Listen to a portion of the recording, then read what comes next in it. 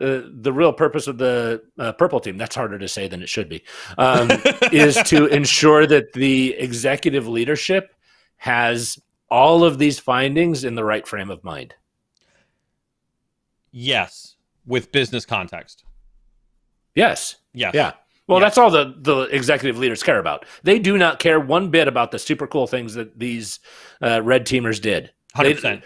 Nor do they nor do they understand it, right? And uh, uh they let me and let's let's put a let's put a risking. Let's put a really fine point on it, Jeff.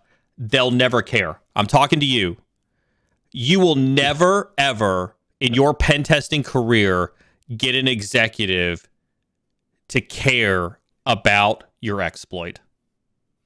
They'll never Correct. care. What do they care about, Neil?